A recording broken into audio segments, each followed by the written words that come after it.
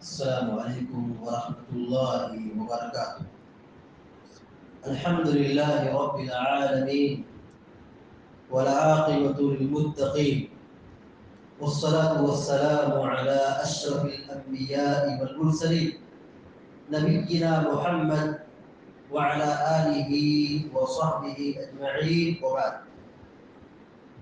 فعن عبد الله بن مسعود رضي الله تعالى عنه قال قال رسول الله صلى الله عليه وسلم ليس منا من لطم الخضور وشق الجيوب ودعا بدعوى الجاهلية متفق عليه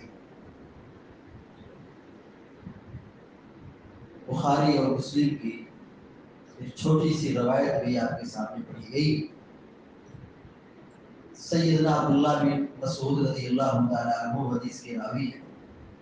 بیان کرتے ہیں کہ اللہ کے رسول صلی اللہ علیہ وسلم نے فرمایا لیس منا من لطم الخدود وشق الجیوب ودعا بدعوى الجاہلیہ وہ شخص ہم میں سے نہیں جو مصیبت کے وقت، پریشانی کے وقت اپنے چہرے پر تھپڑ مارے، اپنے گریبان کو چاک کرے، اپنے قمیص کو پھاڑے اور جاہلیت کی گبار پکارے۔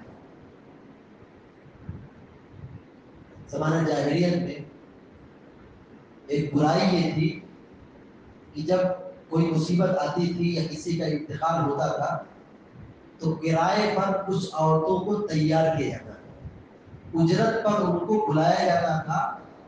وہ وفات اور موت پر وہ چیختی تھی، چلاتی تھی، پال نوچتی تھی گریبان پاڑتی تھی اور جاہلیت کی گبار گبارتی تھی یعنی نوحہ اور ماتم کرتی تھی نوحہ کرتی تھی اور لوگ اس کو فخر سمجھتے تھے. لوگ اس کو فخر کر سمجھتے تھے کہ ہمارے گھر کسی کا انتقال ہوا، ہماری یہاں کی موت پر، مرنے والے پر اتنی عورتوں نے نوحہ کیا۔ لوگ اس پر فخر کرتے تھے۔ باقاعدہ لوگ وصیت کرتے تھے کہ میرے مرنے پر کھونا کو بلانا وہ نوحہ کریں گے ولیعظ باللہ۔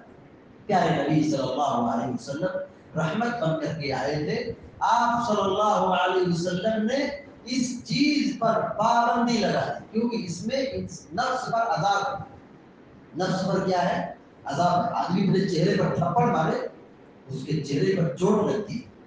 اپنے گریبان کو پھاڑے، قمیص کو پھاڑے، کرتے کو پھاڑے، دامن کو پھاڑے، کپڑے کا نقصان اور پھر جاہلیت کی پکار پر چیخے چلائے۔ ادب اور تہذیب کے خلاف۔ ہے پیارے نبی صلی اللہ علیہ وسلم رحمت للعالمین بنا کر کے بھیجے گئے تھے۔ آپ نے اس رسم پر پابندی لگا دی، کہا یہ رواج اسلام میں نہیں چلے گا۔ حرام قرار دے دیا۔ اور جب بھی خواتین اسلام قبول کرتی تھی، آپ صلی اللہ علیہ وسلم بیعت لیتے تھے زبانی طور پر۔ یہ عہد و پیمان لیتے تھے ایگریمنٹ لیتے تھے کہ تم یہ گناہ نہیں کرو گی، چوری نہیں کرو گی، شرک نہیں کرو گی، اور برائی نہیں کرو گی۔ اور پھر ایک ایک معاملہ یہ تھا، ایک برائی یہ تھی، آپ یہ کہتے تھے کہ نوحہ مت کرنا۔ نوحہ نہ کرنے پر آپ صلی اللہ علیہ وسلم عہد و پیمان لیتے تھے، معاہدہ کرتے تھے خواتین سے زبانی طور پر۔ آج اسلام کے نام پر ایک طبقہ ہے، شیعہ اور روافظ جو محرم کے آتے ہی نوحہ اور ماتم کرنا شروع کرتے ہیں۔ آپ سب جانتے ہیں۔ نئی نسل کو بتانا ضروری ہے۔ کیوں ضروری ہے؟ کہیں ایسا نہ ہو کہ وہ نہ سمجھی ان کے ساتھ چلے جائے اور وہ حرکت کرنے لگے جو اسلام کے خلاف ہے۔ پیارے نبی صلی اللہ علیہ وسلم نے اس پر لالت بھیجی ہے۔ اس سے اس پر پابندی لگائی ہے۔ اپنی نئی نسل کو، اپنی اولاد کی حفاظت کرنا ہماری ذمہ داری ہے۔ ان کو سمجھانا، دین بتانا ہمارا فریضہ ہے۔ تو نوحہ اور ماتم اسلام میں اس کا کوئی حکم نہیں ہے، بلکہ اس سے منع کیا گیا ہے۔ نہیں کر سکتے۔ پیارے نبی صلی اللہ علیہ وسلم نے کہا، وہ شخص ہم میں سے نہیں، وہ شخص ہم میں سے نہیں جو ایسا کام کرے۔ نوحہ کرے، ماتم کرے، چیخے، چلائے اور جاہلیت کی گبار پکارے، اپنے گریبان کو پھاڑے اور اپنے چہرے پر تھپڑ نصیب کرے۔ یہ اسلام کی تعلیم نہیں ہے، یہ اسلام کے خلاف ہے۔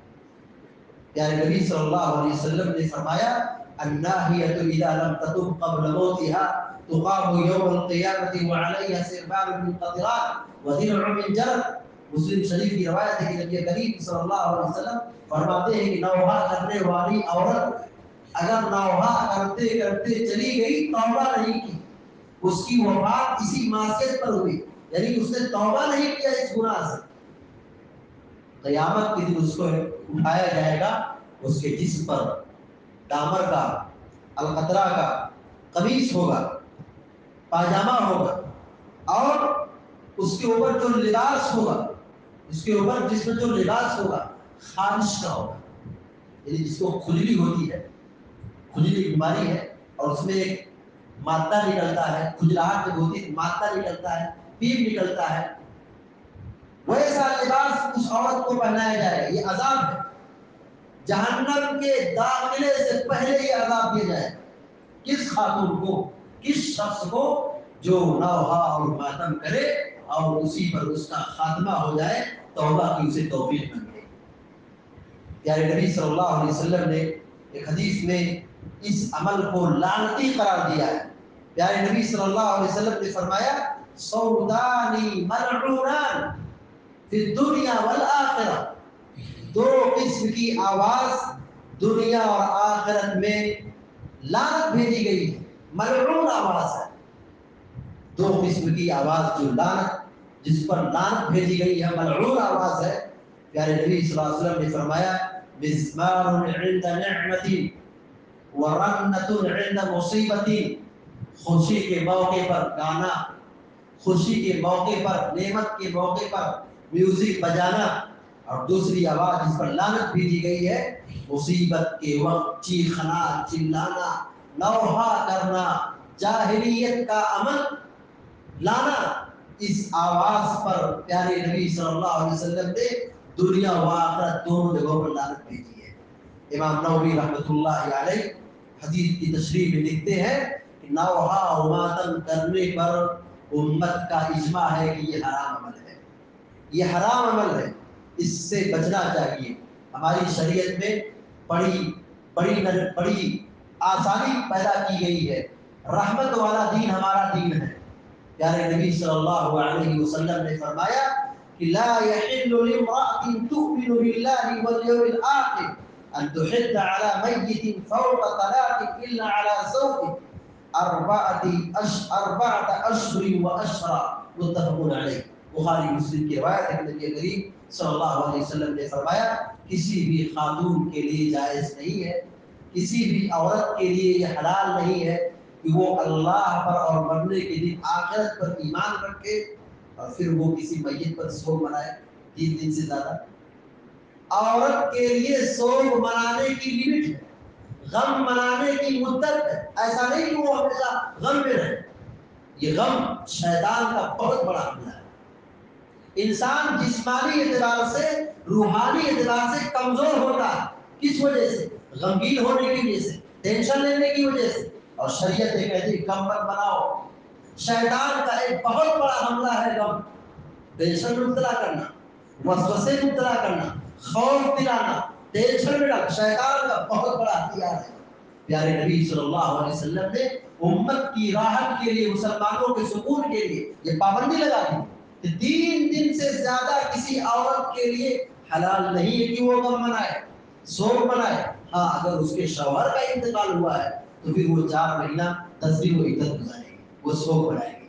بیوی عدت گزارے گی سوگ منائے گی۔ کامن عورت، عام عورت، کسی کا انتقال ہو گیا، بھائی کا انتقال ہو گیا، ابو کا انتقال ہو گیا، دادا کا انتقال ہو گیا، نانی کا انتقال ہو کسی کا انتقال ہو گیا، عورت سوگ منا سکتی ہے اور وہ غم منا سکتی ہے۔ مگر اس کے غم منانے کی مدت متعین کر دی گئی ہے تین دن تین دن سے رہنے پیارے نبی صلی اللہ علیہ وسلم نے اس پر پابندی لگائی ہے۔ لہذا ہم سب کی ذمہ داری بنتی ہے کہ ہم غم منانے کے جو اسلامی تقاضے ہیں اس کو بروئے کار لائیں اور اس طرح کی جو جاہری حرکت ہے، جاہلیت کا جو عمل ہے نہ ہوا و ماتم، اس سے اپنے آپ کو اور اپنی آنے والی نسل کو بچانے کی ضرورت ہے۔ دعا ہے رب العالمین سے اللہ تبارک و تعالی ہم سب کو اور آپ سب کو سارے مسلمانوں کو ہر قسم کے شر سے بچائے۔ ابھی یہ رب العالمین، وصلی اللہ علیہ نبینا محمد وصلی اللہ تسلیما کثیرا، والسلام علیکم ورحمۃ